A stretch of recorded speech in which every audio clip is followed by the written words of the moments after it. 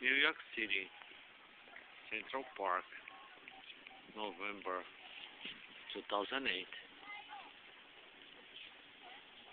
Beautiful fall evening,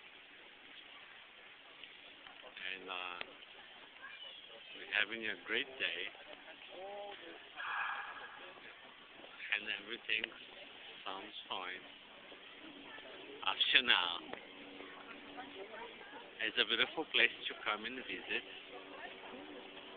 It's a beautiful place to come and visit when you have a, such a beautiful company like I do. Let's go.